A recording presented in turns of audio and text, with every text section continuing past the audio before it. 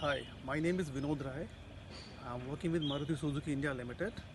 I'm heading the HR of uh, engineering QA and Rohtak R&D. So it's employee base of around 4,000 people working here. Uh, we have been working with Blue Sky for quite quite some time. I think approximately five years or so. Uh, the good thing about Blue Sky is that uh, the way they they take the class, the simple activities, and easy to understand those activities, and then easy to implement once they go back. I think is something a very uniqueness I've I found in these people.